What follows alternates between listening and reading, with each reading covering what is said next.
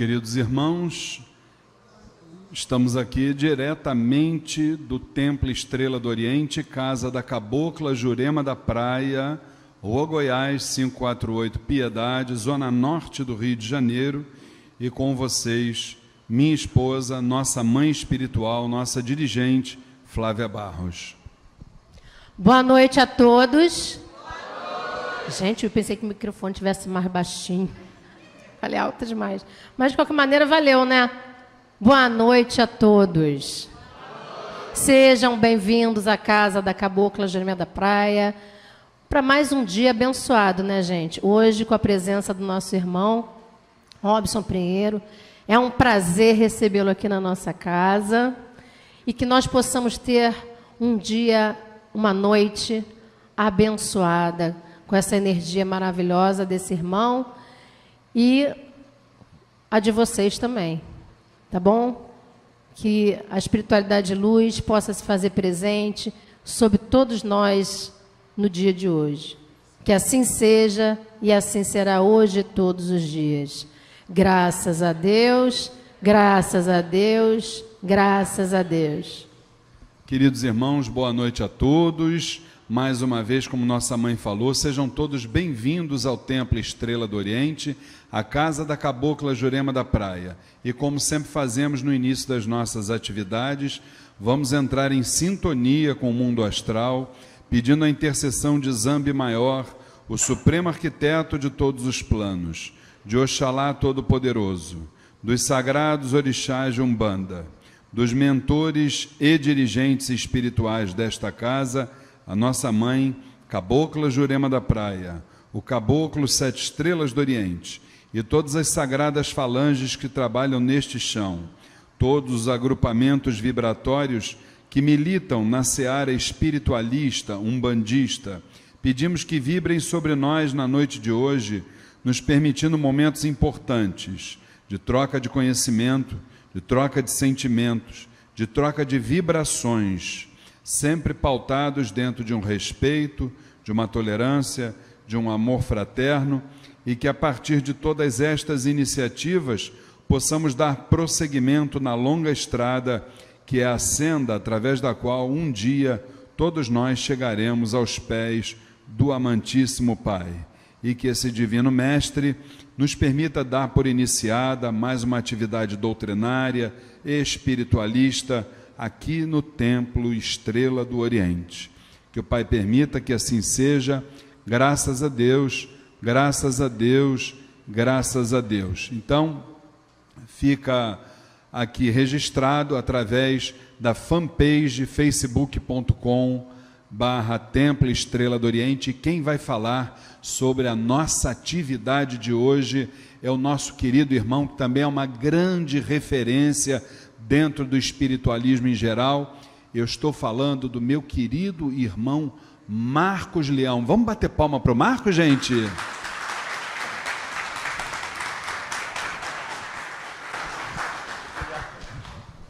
Boa noite, gente. Boa noite. Tudo bom? Tranquilo? bom, é, não vou falar muito não, porque na verdade vocês vieram ouvir Robson Pinheiro, não é? Mas é importante que a gente faça. Ah, vocês da internet aí, ah. é, é, bom que a gente faça uma pequena apresentação para que vocês entendam, ou é, tenham pelo menos um conhecimento superficial do trabalho que a gente realiza já há alguns anos, né? É, eu tive a alegria de conhecer Robson no século passado, porque foi mesmo no século passado, né? é, em que é, eu trabalhava num hotel no centro da cidade de Belo Horizonte, na recepção de um hotel. E aí é, ele e a mãe dele foram se hospedar porque Dona Everilda iria realizar uma série de tratamentos na cidade de Belo Horizonte. Eles vinham de Governador Valadares, o interior de Minas. E assim que eles entraram no hotel, é, a gente teve um insight, assim, sei lá o que era, o fato é que a partir daquele dia as nossas existências se cruzaram, pelo menos até agora, né? dando origem a uma atividade que nós dois não imaginávamos ou na época não teríamos o menor entendimento de onde poderia chegar. Pois bem, encurtando a história, a mãe de Robson veio a desencarnar e Robson então se mudou para a cidade de Belo Horizonte. E ele foi morar na casa dos meus pais, né? Ele ia ficar três meses, ele ficou quatro anos. Mas foi muito legal. E nesse meu tempo, nós começamos a frequentar uma instituição próxima à nossa casa. Até que nós recebemos um convite é, da pessoa de Chico Xavier, logo, bem, bem depois que a gente saiu da minha casa e fomos morar num outro bairro e fundamos uma outra casa espírita, nós realizávamos o culto de evangelho no lar, todos os domingos à tarde, lá em casa, num barracãozinho de três cômodos. E começou a encher de muita gente, né? Era tanta gente encarnada que os espíritos tinham que sair para os encarnados entrarem. E aí a gente então recebeu o convite do Chico, Chico Xavier, para fundar uma instituição que leva o nome da mãe de Robson, Sociedade Espírita Everilda Batista. E a gente achou que ia ficar por aí, a gente estava construindo ainda a sociedade, quando o Chico, mais uma vez, nos chamou e falou: agora vocês vão ter uma editora. Inclusive, a gente já tem o um primeiro livro, que é o Canção da Esperança. Eu falei: tá, então vamos ter editora. Então, achamos que ia parar por aí. Aí ele chamou de novo, entregou para a gente um material gravado e falou: agora vocês vão ter uma clínica holística. E aí veio a clínica holística. Aí, agora acabou. Aí não acabou, aí veio a Ruanda de Pai João. Aí eu falei, não, agora terminou. Aí veio o Colegiado de Guardiões da Humanidade, que hoje está em 15, 17 países diferentes. Isso é um pequeno resumo para dizer que, na verdade, nós representamos cinco é, instituições espíritas e espiritualistas que juntas formam a Unispíritos, que é a Universidade do Espírito de Minas Gerais, onde a gente tem uma quantidade bem legal de pessoas estudando conosco espiritismo espiritualismo. Falar de Robson é, é sempre uma alegria porque eu, é, nós vivemos e ainda hoje uma história bem legal e eu não sei se isso vai pela eternidade, mas eu falo com ele se isso é bom ou ruim para ele, eu nunca sei. Mas até esse momento tem dado frutos e frutos é, prazerosos, gostosos, amigos, né? pessoas como vocês que saem dos seus lados do seu trabalho para ouvir o que a gente tem a dizer. Então, sem mais para o momento, eu vou apresentar para você, chamar aqui Robson Pinheiro, por favor.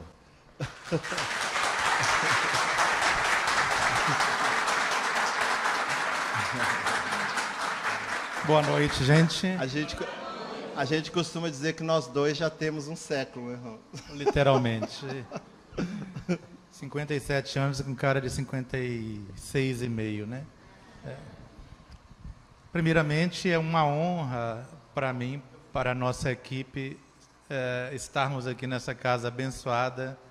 E quero agradecer aos orientadores espirituais que aqui estão e que nos deram esta honra de poder falar aqui com vocês, compartilhar um pouco de nossa história, de nossa vida, um pouco de espiritualidade e a espiritualidade independente.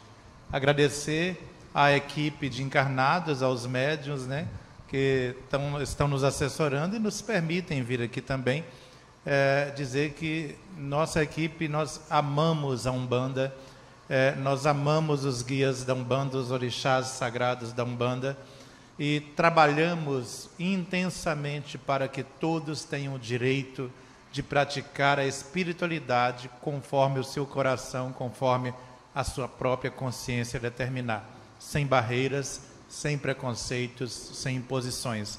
E por isso é que a gente está honrado de estar nessa casa, né? Pois bem, nós vamos falar um pouco de espiritualidade independente. E eu gostaria de cumprimentar o pessoal da internet também, que está conectado conosco. Obrigado a todos vocês por estarem ligados aqui no Estrela do Oriente.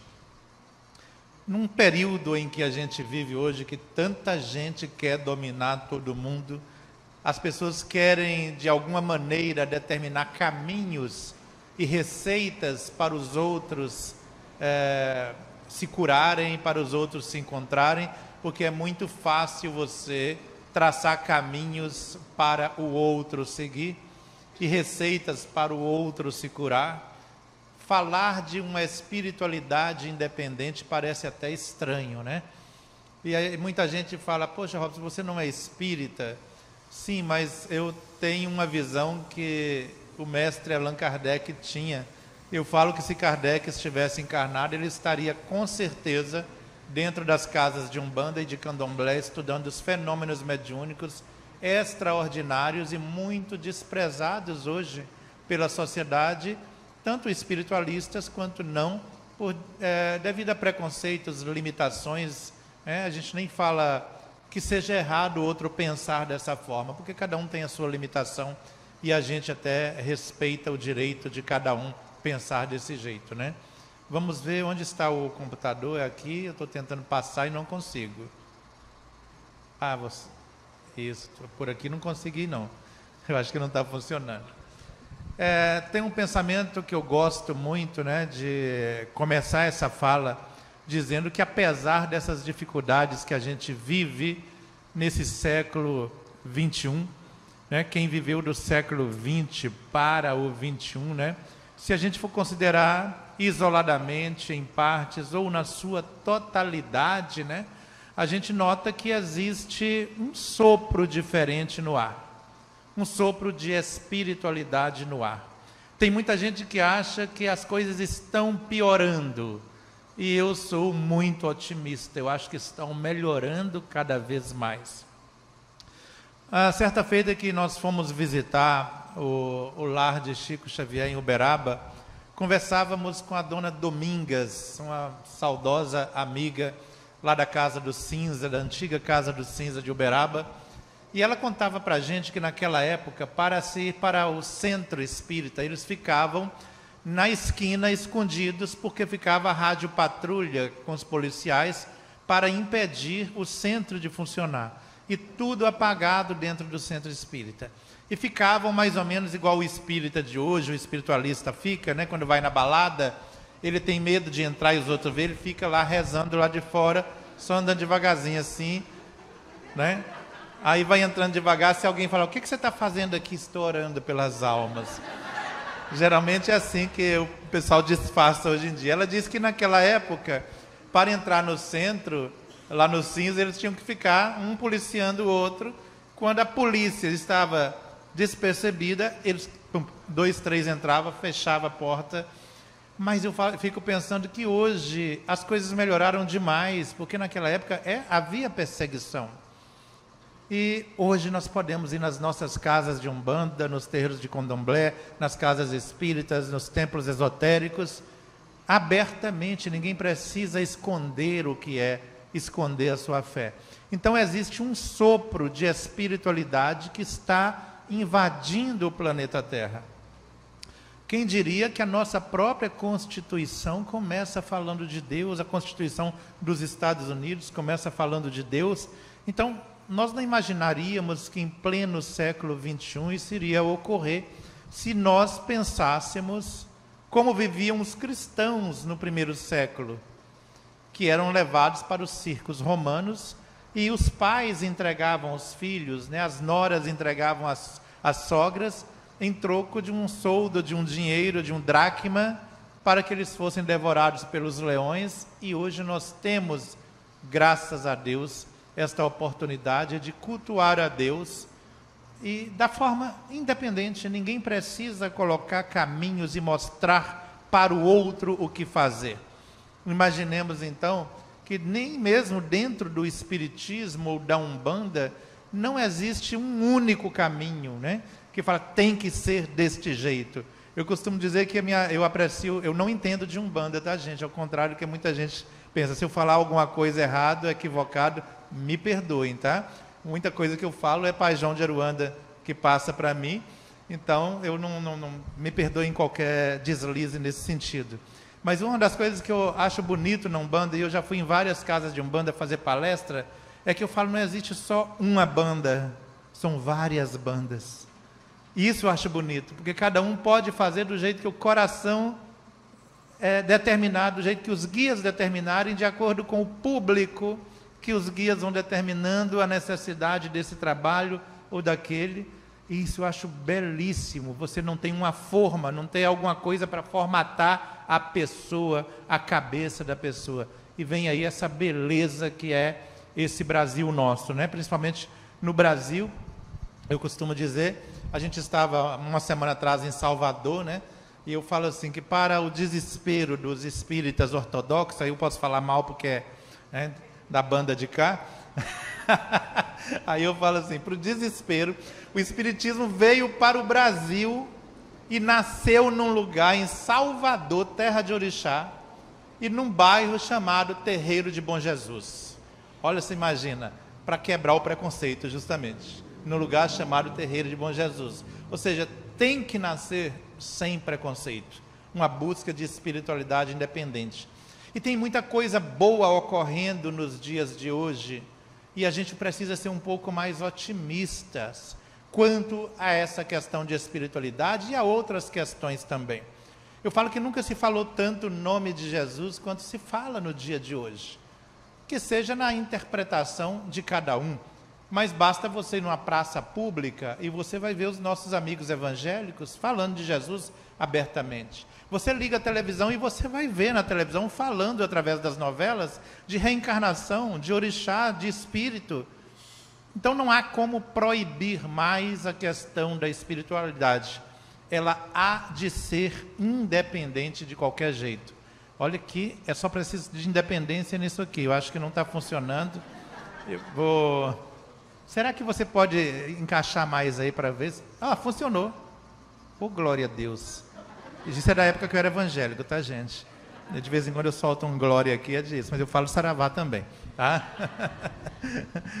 Nasce, então, um novo conceito de espiritualidade hoje, que é uma espiritualidade em que a gente não é, determina para o outro o que ele tem que fazer. Eu me lembro muito bem é, um dos. É, o Marcos citou o um nome aqui, falou barracão. Eu não sei se aqui. Barracão, acho que aqui é, é de candomblé, tá? Em, em, Minas é outra coisa. Lá a gente chama de barracão, em São Paulo de edícula, né? aquelas casinhas pequenas de dois, três cômodos que ficam nos fundos assim. Eu me lembro de uma vez que Pai João de Aruanda, de maneira muito incomum, por exemplo, eu não tenho muita, é, é, não tenho histórico com rituais porque eu fui evangélico antes. Né? E Pai João apareceu na nossa vida muito depois. Então, aí uma vez o Marcos detestava falar em preto velho, que ele falou assim: em mim só desce nórdico idoso dos olhos azuis. Aí eu falei assim: você ainda vai pagar essa língua, viu? Ou então você volta para o Pelourinho e para Chibata. Né? E meu pai brincava com ele falava assim: olha, cuidado, que a Lei Áurea foi escrita a lápis. Ela pode ser desmanchada a qualquer hora e você volta para o outro lado. De uma maneira brincalhona que a gente falava. E uma vez Pai João de Aruanda passou uma receita muito incomum para os padrões que nós estávamos habituados naquela época. Digamos que a gente era um pouco formatado, estava derrubando as, ba as barreiras e as cercas naquela época, né?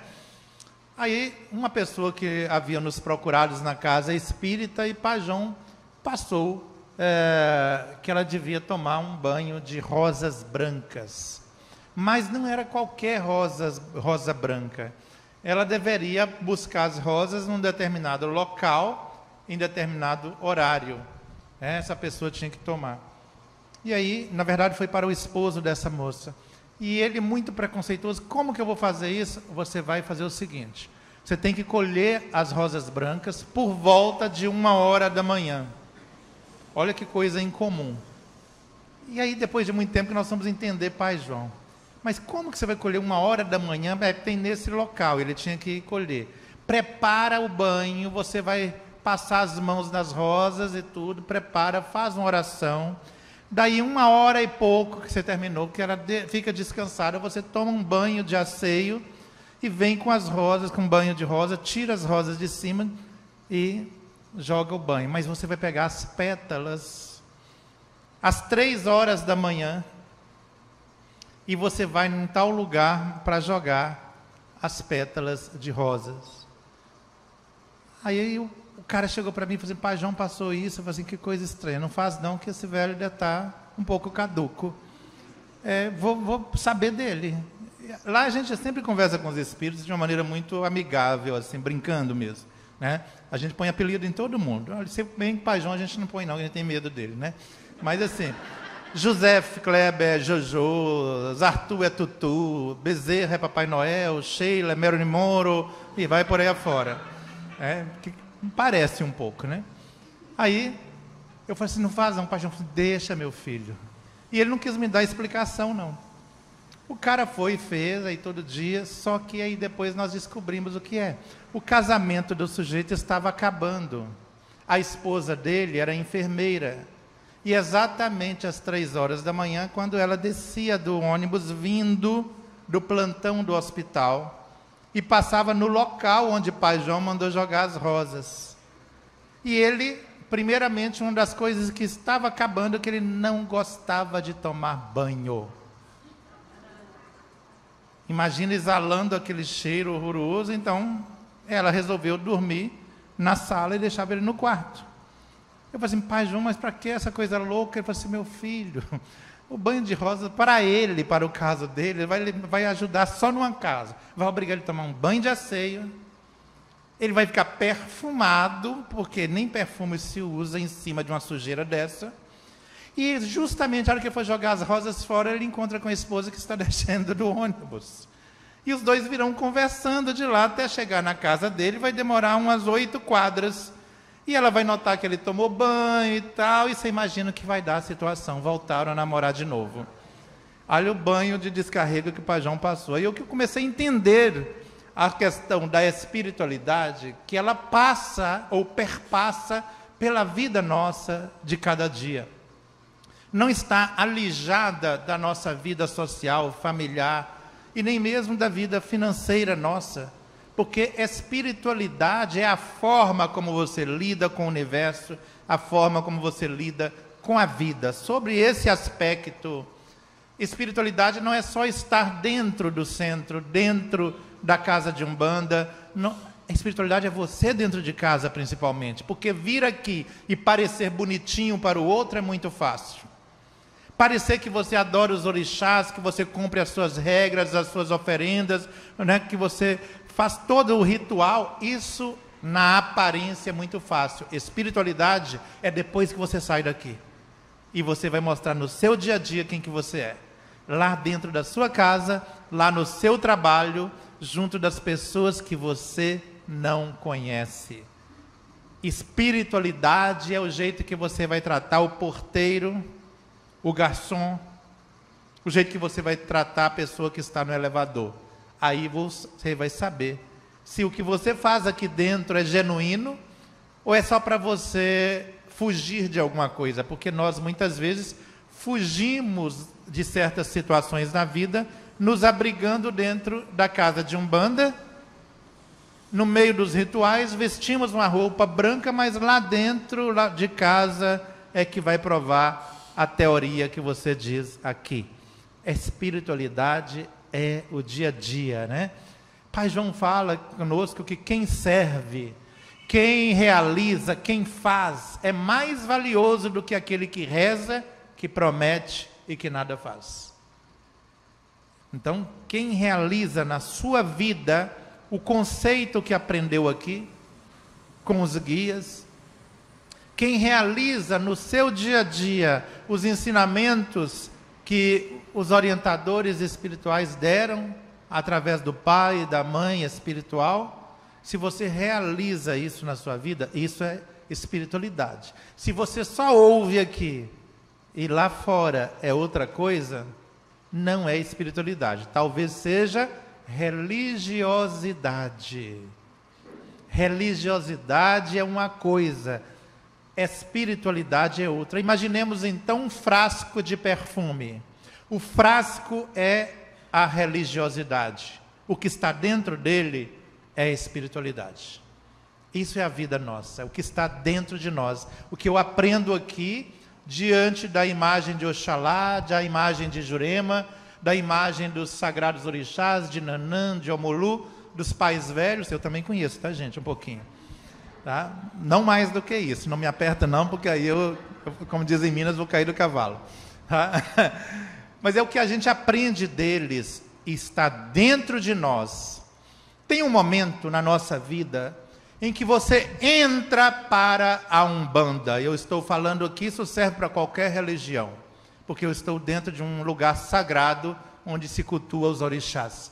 E aí a minha voz e a minha palavra é voltada com o máximo de respeito. Mas pode ser para o catolicismo, pode ser para o espiritismo tradicional, pode ser para o esoterismo, onde quer que seja. Existe um momento em que você entra para a Umbanda. Neste momento você vai conhecer o que a Umbanda promete, o que ela tem de bom para você. Existe um segundo momento em que a Umbanda entra dentro de você. E quando ela entra dentro de você, aí começa a transformação. Você começa a descobrir que não é o outro que precisava estar aqui, é você que precisa estar aqui. Às vezes a gente estava assim, ah, mas meu filho, meu marido podia estar aqui. Não, ele está onde ele deve estar nesse momento. Eu que precisava estar aqui. E existe um terceiro momento, quando a Umbanda sai de você em forma de atitudes. Que eu vou viver lá na sociedade, lá na família, aquilo que eu ouvi aqui dos guias que introjetou dentro de mim. Aí você pode dizer que quando começar a sair de você, você está fazendo a transformação no mundo que nós tanto almejamos nos últimos dois mil anos de humanidade. Você está começando a transformar. Ao você dar a mão para o filho, ou para o marido, ou para a mulher, para a pessoa problemática, sem impor a ele ou a ela o seu jeito de ser e de acreditar, mas amando a pessoa do jeito que ela é, do jeito que ela está porque a pessoa não vai virar um bandista porque você é insistente. Tem coisa pior do mundo, gente, do que um religioso fanático. Eu vou falar mal de alguém aqui agora. Imagina você estar tá num domingo de manhã, dormindo na sua casa e bate as testemunhas de Jeová. Ninguém merece. Agora imagina se batesse um bandista com um galinho de Guiné na sua casa de manhã. Um espírita com o evangelho segundo o espiritismo querendo te converter. Um pastor da igreja universal, daquela igreja pedir mais cedo, né? Pequenas igrejas, grandes negócios, batendo na sua pedindo dízimo. Gente, eu falo assim porque eu já fui evangélico, tá? Então estou falando de causa própria mesmo, assim. Ninguém aguenta gente fanático. Então você precisa muitas vezes respeitar o outro porque ele não tem o conhecimento e nem tem o histórico que você teve para chegar a conclusões que você chegou, as convicções que você tem. Isto é espiritualidade. Entender o outro até no caminho errado dele. É o momento dele. Se você forçar muito uma fruta para amadurecer com carbureto, com qualquer outra coisa, com impacto, hoje já não usa mais carbureto, coloca num refrigerador, esfria, abaixa de zero, depois esquenta, ela amadurece de um dia para o outro, mas não tem sabor, não tem suculência. Vocês já viram aquelas bananas que você compra e fala assim, gente, perdeu o sabor, não tem o sabor de antigamente? É porque foi amadurecido fora de época, forçado. Reconhecer que o outro está no caminho que ele dá conta. Isso é espiritualidade. Lógico que a gente, e a gente conhece um pouco de espiritualidade, você não deixa de acender uma velinha para o orixá da pessoa, né? Dá um empurrãozinho, não faz mal a ninguém. Pedir não faz mal a ninguém. A gente não vai forçar ninguém. Mas olha, Deus sabe o tanto de joelho que a gente ajoelha, né, para pedir. E tantas vezes que está meia-noite, você está ali firmando para a pessoa pedindo a nossa cabocla Jurema para toca no coração dessa pessoa, porque eu gosto demais e eu acho que está na hora dela acordar. Mas você não vai forçar, você vai vibrar. E aí a gente tem que ter um cuidado na questão de espiritualidade, porque nós somos especialistas numa coisa. Nós espiritualistas nos especializamos em autodestruição. Ninguém precisa ter obsessor. Gente, o obsessor aposentou. Sabe por quê? A gente destrói a própria vida e joga a culpa nele. A gente se especializou em auto-boicote. Nos boicotamos, boicotamos a vida espiritual nossa. A gente fica querendo, de, de, desejando ser igual o outro médium, ter a mediunidade igual o outro, igual o pai, igual a mãe que dirige o terreiro. Mas a gente não quer passar pelo mesmo caminho que eles passaram até chegar ali. Eu costumo dizer que todo mundo quer ser Chico Xavier pronto, mas não passar pelos anos de luta, de dor, de renúncia que ele passou. Muitas vezes as pessoas ficam desejando estar no lugar de A ou B, mas mesmo quem vive com essas pessoas não sabem as lutas internas dolorosas pelas quais ela passa e as renúncias para que ela seja minimamente aquilo que ela está querendo dedicar. Então eu falo que a gente se especializou em auto-boicote, aposentamos o demônio e o obsessor, e a gente se especializou. E ele fala assim: para que eu vou perseguir esse médium aquele? Ele está se destruindo, não vou perder meu tempo com isso. Tanto que a gente fez até um estudo chamado assim: Como destruir sua vida e jogar a culpa no obsessor. Porque a gente se especializou nisso. Espiritualidade também é você olhar para dentro de si, para as suas sombras, e dizer como você está boicotando a sua vida. Você está tendo uma chance, gente, que milhões de pessoas no mundo gostariam de ter. Milhões. E foi dada a você uma incumbência, uma outorga espiritual de ser um representante das estrelas aqui na Terra um representante de uma mensagem renovadora para a humanidade. E você às vezes abre mão disso por concessões pequenas, por concessões às vezes que você diz publicamente rejeitar, mas que na intimidade é aquilo que você mais quer. Só que você pode até usar uma máscara, mas existe alguém ao seu lado invisível, mas não imperceptível, porque ele se faz perceber que sabe o que está dentro de você. Precisamos olhar as nossas sombras e encará-las. E ver se você não está se boicotando espiritualmente. E quando eu falo espiritualmente, é nesse sentido de espiritualidade permeando a sua vida. Isso vai no seu trabalho profissional isso vai de encontro à sua vida emocional e até a sua prática e a sua crença de espiritualidade, seja ela independente ou não. Mas às vezes a gente boicota. Os espíritos estão colocando algo na sua mão, estão abrindo os seus caminhos e você mesmo põe a pedra e põe o não, e põe isso, e põe aquilo pensemos que nada é eterno, nem paciência. Nem a paciência dura para sempre. Qualquer hora, a mesma mão que colocou diante de você vai retirar e falar: olha, esgotou a oportunidade, vou colocar na mão de outra pessoa. Então, saibamos neste conceito de espiritualidade interpretar direito a mensagem, muitas vezes inarticulada, não foi dita mas foi mostrada para nós. Porque o pessoal do outro lado, eles estão avançadíssimo em tecnologia. Os espíritos estão avançadíssimos. Agora eles não dão um sinal assim para você pensar, não. Eles colocam uma banda inteira tocando, uma mão fazendo assim. É para ali. Não me interpretem mal, tá? Não, não é no sentido político. Mas imagina uma mão imensa falando assim: é ali que você tem que andar. É para ali que você tem que ir. E todos os sinais indicam para aquilo. E você próprio tem convicção disso. Mas você começa a colocar, porém, alvos discordantes. Tem um alvo para você ir, um caminho a seguir e uma estrada que muitas vezes ela é gloriosa você põe alvos discordantes aqui e ali, desejando isso e aquilo aquilo outro, e vai, vai, vai.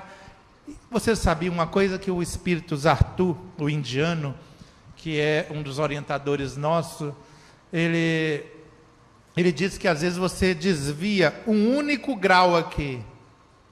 Daqui um ano você tem um universo de distância de onde você estava. Se você traçar uma linha reta e desviou um grau, muito difícil você fazer essa linha se encontrar novamente, talvez no universo paralelo.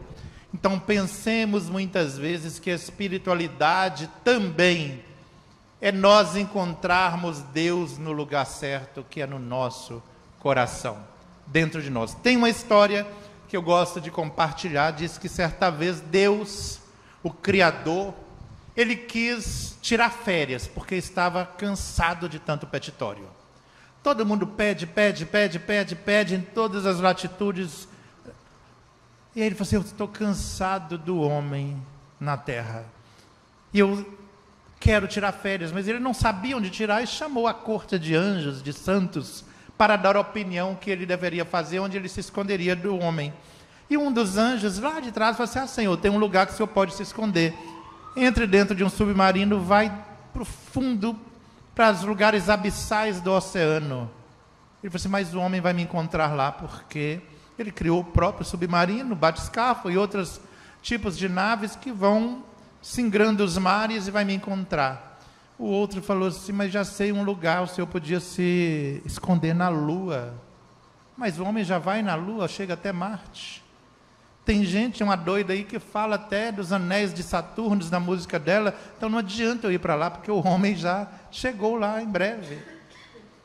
E aí cada um dava uma ideia, e foi o céu esvaziando, a corte eterna esvaziando, e ficou aquele anjinho né, que é um fiote de anjo, nem avô ainda, estava varrendo o céu. E diga-se de passagem, os orixás estavam lá. E aí, esse anjinho, que ainda não avoa, estava varrendo o céu, tirando a sujeira que os outros anjos deixam, né? Papelzinho de bala, copinho de papel que joga para lá e para cá, e estava acabando com a ecologia celeste. Aí esse anjinho falou, parou, falou assim: Senhor, e Deus do outro lado coçando as barbas. Eu sei um lugar onde o Senhor pode se esconder e o homem não vai te encontrar. E aí o Senhor pode descansar eternamente aí. E Deus pensou, mas como que um anjo tão simples pode saber coisas tão profundas? Ele falou assim, só tem um lugar que ele não te procura. Esconda-se dentro do coração dele. Porque o homem está preocupado, Senhor, em viajar para esse país, para aquele país, para outras terras, para a Lua, para Marte, para Vênus, e não viaja para dentro de si. E diz a, a, lenda que a partir deste momento Deus se escondeu no coração do homem. Nem mesmo nas religiões nós encontramos a Deus. Sabe por quê?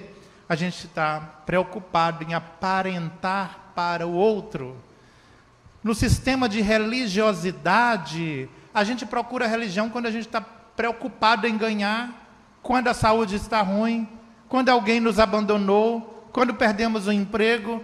Transformamos os nossos guias e orixás num lugar onde eu procuro só por desespero. E eles falam: esconda-se dentro do homem, porque é preciso não religiosidade, espiritualidade para descobrir Deus no lugar certo, que é dentro de você. E nesse caso, seja católico, seja protestante, seja espírita, umbandista, seja o pessoal do santo do candomblé, seja Hare Krishna, o caminho é o mesmo de espiritualidade. Não adianta ficar alisando centro de igreja, banco de centro espírita, que você não encontra Deus a menos que você vá para dentro de si. E aí nós vamos entender o conceito dos pais velhos, o conceito das mães velhas, dos caboclos, dos nossos guardiões, né? Nós precisamos nos despir da aparência, nos despir das coisas mundanas. E eu vejo, na minha visão pessoal, eu costumo dizer, eu estava falando esses dias mesmo que eu tive uma reunião com meu editor, Leonardo, e ele citando a respeito de uma prática umbandista que eu acho que vocês talvez possam ter, não sei se é em toda, todo o terreiro, mas que a gente aprecia muito, E a gente fala assim, no meio espírita tradicional, espiritólico, esquizotérico, esquisito, o povo esqueceu disso. Que a hora que você vai para o centro, você se despe das coisas do mundo, você vai tomar um banho para liberar aquelas coisas materiais, grudentas, macilentas, sejam energias muito grosseiras. A partir desse momento, como um sacerdote da vida, você veste uma roupa apropriada para aquele momento sagrado. Significa o quê? Um novo nascimento. Eu deixei lá fora aquilo que é de fora, a César o que é de César. E como os sacerdotes antigos do Egito, de Karnak, de Tebas, de Alexandria, que antes de pegar o ofício sagrado, eles mergulhavam em águas profundas, se lavavam e se lavavam mais com banhos de ervas aromáticas para perfumarem, representando o aroma à questão espiritual. E só então eles se paramentavam para o ofício dos deuses sagrados. Isso representa muito de abandonar essa coisa puramente material lá de fora. E a gente às vezes sai da correria do dia a dia e vai para o centro dos espíritos do jeito que a gente está, não se prepara, acha que faz o nome do Pai, uma Ave Maria e já está bom, mas aquilo é tudo da boca para fora. Existe um momento em que você tem que entrar para dentro de si e descobrir ali dentro o Deus que está escondido em você. Para mim, isso é uma essência sagrada. Não sei se é esta a interpretação que a Umbanda dá, mas para mim é o que eu vejo quando eu olho para os médios todos de branco. O Marcos, até enquanto a gente sentado ali, ele falou assim: Olha, a gente não tem essa, essa prática, mas é tão bonito, né? Ele falou comigo, eu falei assim: O que, que é? Falei assim: O pessoal chegou mais cedo, se preparou, se vestiu de branco. Olha como as pessoas preparam, se preparam para o que há de sagrado na vida deles. E no dia a dia nós perdemos isso. Nós não preparamos para o sagrado. Existe um momento em que você precisa parar o mundo, dar um basta nas coisas lá de fora, se despir dessas coisas de fora. E aí sim, você vai descobrir que você é um Deus, que você pode transformar, que você pode transformar vidas, e quem sabe se você adotar essa prática no seu dia a dia, é hora de dormir, é hora de deitar. Então é a hora de dormir. Nesse momento, imagine se a gente tomar um banho representativo, ritualístico, um banho comum. E vou me despir, o que? Deixar cair na minha cabeça a água e despir dos pensamentos do mundo, despir de tudo aquilo e aí eu me entrego e faço uma prece para o meu anjo de guarda, para o meu mentor, e peço a ele, olha, me dá tranquilidade para que esta noite, fora do corpo, eu possa me relacionar com os imortais. Aqueles que eu vejo uma vez e não esqueço nunca mais. A noite é a hora de você transformar o seu quarto num templo sagrado e a sua cama num altar sagrado. Então não é um lugar que você vai levar as coisas de fora. Coloque tudo no seu devido lugar. Terminou a preocupação. E sabe por que, que a gente fica muito ansioso? Que a gente troca as coisas de lugar e misturamos tudo e não determinamos o limite. Eu vou para a cama e transformo o travesseiro em psicólogo. E fico chorando mágoas e pensando a noite inteira e fazendo isso, aí você não dorme, não dorme, não dorme, levanta, toma um litro, dois litros de chá e continua não dormindo, porque você não despiu do pensamento e você não colocou a coisa no compartimento certo. E não respeitou que ali é o seu lugar de descanso.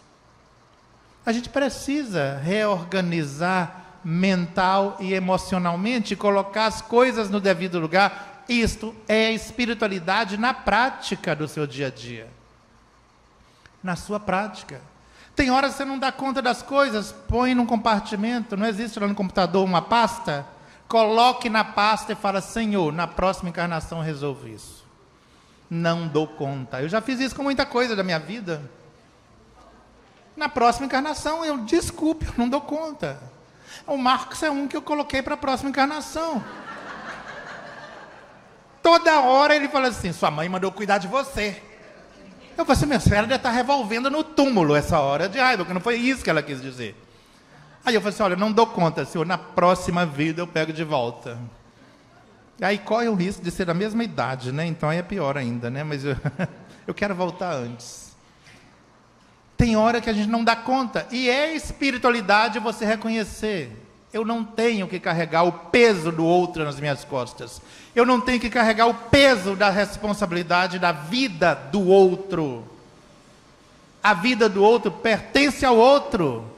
Se livra do peso, joga fora, vai para o mar que é bom, mas não é seu. Faz igual na época que eu era evangélico, sai de dois em dois para não causar tumulto. Assim que a gente expulsava. E o encosto saía direitinho, de dois em dois, assim que ele tinha medo. Hoje o encosto às vezes está dentro de casa. É o parente que vem passar quatro meses e passa quatro anos. É encosto.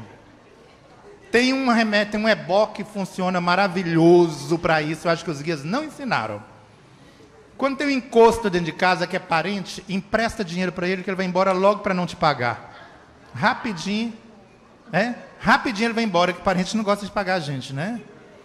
Se é amigo, fica com raiva de você rapidinho, esquece tudo de bom que você fez e você vira o culpado de tudo. Mas pelo menos funciona. Isso é bom para Exu resolver. Eu entrego para o seu sete, ó, é seu, seu sete. É seu, viludo, toma conta. Esses dois estão por aí brincando comigo. Mas é assim a gente tem que aprender a carregar apenas o fardo leve. Se a coisa não for leve, não pertence a você. Isto é espiritualidade na prática, não é na teoria. Porque não adianta eu querer ficar o tempo inteiro pregando coisas bonitinhas na teoria e não fazer nada. Não sei se vocês notaram, eu não passo quase slide nenhum, né? Eu preparo 15, 20 mas é de acordo com a cara de vocês, com o que os espíritos vão falando, que eu vou mudando tudo. Eu não sei se eu atingi o objetivo ou não, mas eu vou mudando isso. Fala, fala isso, fala aqui. A Angelina está assim, não fala não, pai João, fala assim. Aí eu falo assim, decide aí, peraí. É. Não dá para ficar entre os dois, né? Entre a, a senzala e a Casa Grande, desculpa, a senzala vai ganhar. Mas, gente, a espiritualidade, sobretudo, é fazer isso que vocês acabaram de fazer aqui é sorrir, transformar as coisas em coisas leves. O caminho de espiritualidade tem que ser satisfatório. É a palavra de Teresa de Calcutá, é a palavra de Pai João de Aruanda, é a palavra do Mahatma Gandhi. Que você vai fazer tem que ser leve. Você tem que fazer gostando de fazer. Se você emburra, faz por obrigação, deixa de ser espiritualidade, vira ritualismo. O ritualismo é bonito, desde que tenha espiritualidade nele. Se não tem espiritualidade, não tem leveza, não tem satisfação, não tem alegria, deixa de ser espiritualidade, vira obrigação. Obrigação é terrível. Eu falo assim: a melhor coisa é você ter a opção de alguma coisa. Eu costumava dizer, é, eu fui solteiro muitos anos, né? E eu falava assim: eu gosto de ter gente na minha casa por opção e não por obrigação. O pessoal não entendia isso. Eu gosto de fazer as coisas por opção e não por obrigação. Eu gosto de trabalhar por opção e não por obrigação. Se eu sou obrigado a ir ao centro espírita a fazer isso, não dá para mim. Não dá para mim. Eu tenho que ir porque eu tenho a opção de ir, mas eu tenho a opção de ficar na minha casa também e não me sentir culpado. Porque ficar em casa, descansando, sem culpa, é espiritualidade também. Vocês já notaram que nós que somos espiritualistas carregamos um peso de culpa muito grande? A gente se sente culpado por qualquer coisa. Principalmente tem uma coisa que a gente se sente culpado por dinheiro. A gente é mal resolvido com dinheiro, é mal resolvido com sexualidade, é mal resolvido com a sociedade, com a aparência física. Chico Xavier falava com a gente que espiritismo é religião de católico fracassado. Ele disse que a gente roubou demais na igreja católica em outra vida, voltou para cá todo mal resolvido, todo danado. E aí a gente vê esse tanto de gente cheio de trauma. Médium é gente cheia de trauma, gente. Por que, que a gente está aqui? A gente está acorrentado aos deveres nossos, porque se soltar das correntes a gente destrói o mundo. O médium é o pior que tem. E pior, se o médium for dirigente espírita, amarra na corrente, porque ele está ali. Ah, como dirigente, ele não pode nunca abandonar o trabalho dele. Eu costumo dizer isso, olha, cuidado. Nós estamos aqui acorrentados aos nossos deveres e responsabilidades, porque se soltar a gente disso, ai do mundo. Ai de vocês. A gente não está aqui porque a gente é melhor, não. A gente está aqui porque nós precisamos estar aqui.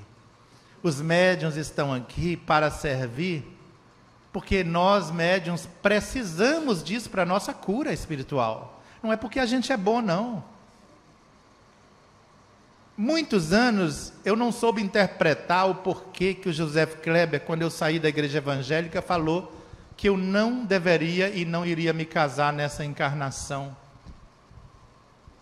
E isso foi uma história que me perseguiu anos e anos e anos. Ele sempre falava: o dia que você se casar, eu começo a me afastar e logo você desencarna. E eu peguei e falei assim, nossa, por que, é isso? Com o tempo eu achei que ele estava meio doido. Depois eu fui descobrindo. Não é porque os outros iam me atrapalhar. Ele estava livrando os outros de mim. Porque médium, gente, tem, ele tem que nascer com manual de como lidar com a pessoa. Como que eu vou lidar com Robson Pinheiro? Que ele amanhece parecendo uma tromba de elefante, emburrado. O que que até se adivinhar o que está na cabeça dele, já passou um ano, você não sabe o que, que ele está emburrado. Depois você pergunta para ele, ele também não sabe. Porque o médium tem um reflexo das questões do outro lado que reflete no dia a dia. Lidar com o médium dentro de casa, gente, é uma coisa louca, principalmente se a família não é médium, não é espírita, não é espiritualista. Imagine quando eu era evangélico, então, e via os espíritos. É aquela coisa, sai de dois em dois para não causar confusão, porque a gente não dá conta.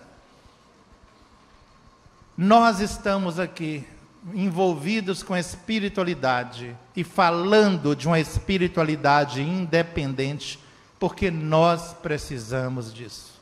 Não é porque vocês precisam. Chico falava sempre que os convidados de Jesus são muito exigentes e nós devíamos nos especializar em atender os convidados de Jesus. Nós, médiums, né? De qualquer é, categoria, de qualquer religião. Porque a gente veio aqui para aprender a servir. Mas se esse serviço for pesado, se ele não for prazeroso, deixa de ser espiritualidade, vira obrigação. E se você tem algo que você faz por obrigação, não é algo que te dá felicidade. E eu tenho certeza que não é o caso aqui, porque pelo menos o sorriso que eu estou vendo no pessoal aqui, a menos que eles riem de gente desembestada, de médio mineiro, todo mineiro é meio desembestado assim. Dizem que tinha uma, uma igreja lá que entrou um ladrão na igreja e roubou o dinheirinho lá do gasofilácio. O padre, nos fundos, na igreja paroquial, estava olhando, levantou assustado com barulho na igreja, e foi pé ante pé, tudo escuro.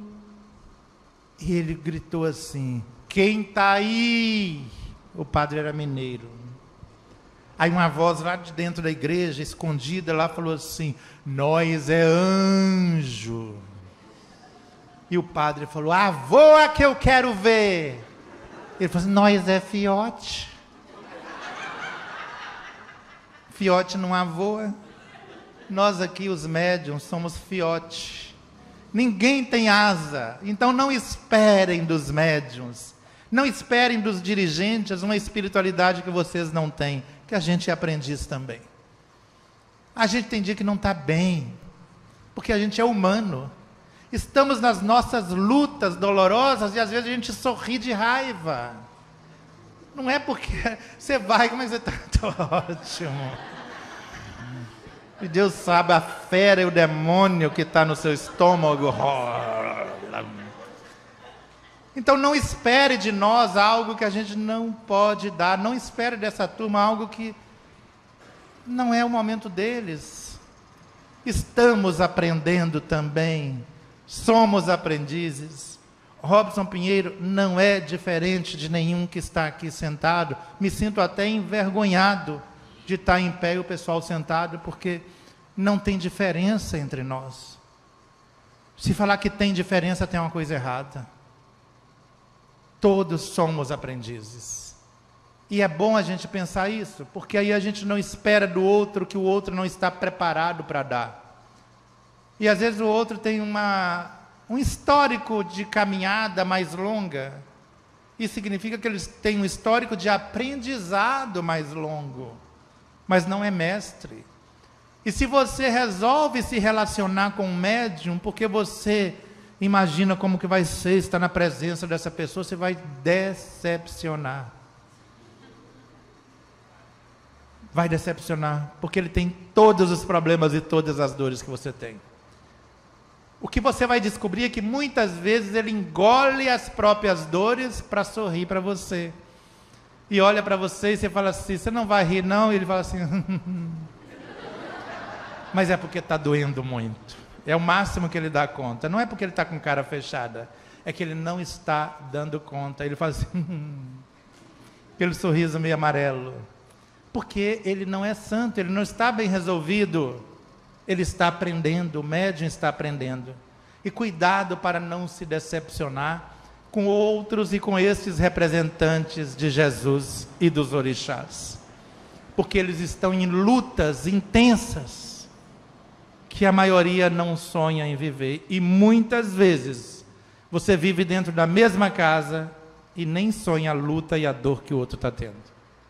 Que uma das coisas piores para o médium, principalmente para o médium ostensivo, a mãe e o pai devem saber disso por orientarem aqui, é quando ele sabe de certas coisas ele é obrigado a ficar calado. E dói o coração porque ele está vendo que a pessoa está indo para um caminho desnecessário, mas ele não pode interferir para não tirar a liberdade do outro. Isso dói dentro da gente. É aquele dia que você acorda e o outro fala assim: Nossa, você está com a cara fechada. Mas não é, é porque você chorou. Só que as lágrimas vão para dentro. Ela não pode ir para fora, senão assusta. Isso é o aprendizado da espiritualidade. Estou falando isso porque muitas vezes nós falamos de espiritualidade para o outro esquecemos que nós estamos neste caminho. Neste momento que a gente está encerrando aqui a nossa fala, eu quero pedir desculpas se eu abusei do tempo e das palavras, se ofendi alguém na maneira de falar. Mas eu gostaria de, nesse momento, encerrar é, com a música, se vocês me permitirem, que é uma música em forma de oração.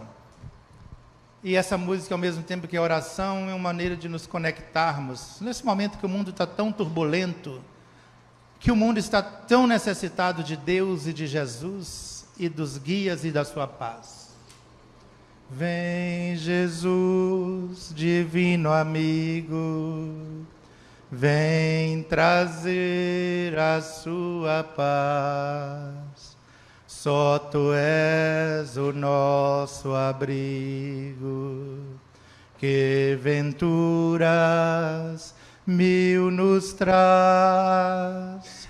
Vem, ó meigo Nazareno, este mundo consolar. Vem com teu olhar sereno. Toda a terra iluminar, afastai do mundo a guerra, o chacal devorador que destrói tudo na terra espalhando luto e dor, há gemidos de aflição, já não há mais primaveras Criancinhas pedem pão, homens lutam como feras. Vem, Senhor, vem reflorir os caminhos. Vem, Senhor, vem consolar corações, exterminar a dor e fazer calar os canhões. Vem, Senhor, com seu amor tão profundo, iluminar consciências e fazer feliz o mundo. Que Deus permaneça conosco. Obrigado, senhores. Obrigado, senhoras. Obrigado aos nossos guias e orixás. Boa noite.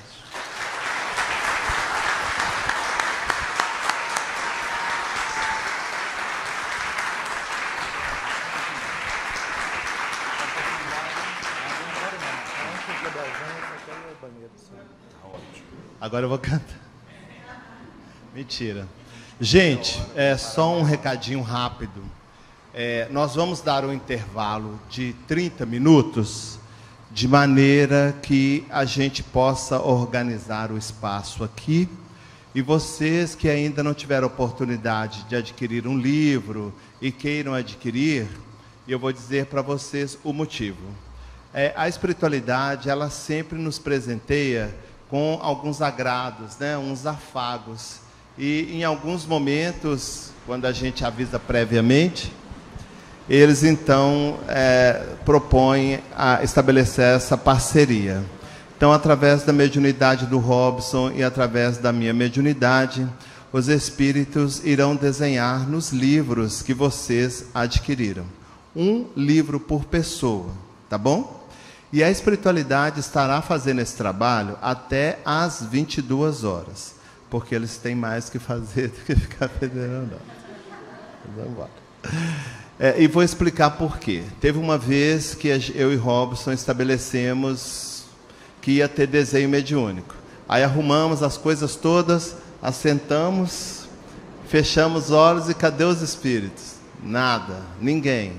E aí, depois de um tempo, eles falaram: vocês acham que a gente está à disposição de vocês, que a gente não tem mais nada para fazer do que ficar. Então, estabeleça uma relação de disciplina: horário para começar, horário para terminar. Marcão, mas se não der para desenhar no meu livro, né? Olha, eu vou convidar você a ir nos outros eventos que nós vamos fazer na cidade do Rio de Janeiro e Niterói. Robson e eu vamos ficar aqui nove dias. Nove dias, vocês vão enjoar da gente. Entendeu? E se vocês quiserem saber mais informações, entrem no site do Robson ou vão lá na livraria que a gente vai informar para vocês direitinho, tá? Então a gente tem 30 minutos. Quem quiser ir na livraria comprar o seu livro, podem permanecer sentados, quem não for, porque a gente vai organizar tudo direitinho e até às 22 horas a espiritualidade vai estar conosco ostensivamente, porque o tempo inteiro ela está aqui. Querido, é, só queríamos passar um recado para os irmãos que aqui estão, mãe. Como é que vai ser exatamente o, o trabalho aqui com o Robson? É, na verdade, nós vamos ter um intervalo de 30 minutos. Depois vocês vão voltar para o lugar de vocês, que a nossa irmã que Elaine, Elaine vai chamar por fileira, tá? Então a gente não vai fazer fila, tá? É por fileira. Então terminou o lanche de vocês ou de ficar lá fora alguma coisa, vocês sentem no mesmo lugar para que vocês possam ir entrando, tá bom? E os médiums vão ocupar as cadeiras que estiverem vazias, caso queiram é, ter também oportunidade de receber essa psicopictografia. Psi, como é que é o nome? Psicopictografia. É até difícil de falar, né, gente? Então, ó, estão todos liberados. Quem quiser tomar um café, nossa cantina está funcionando.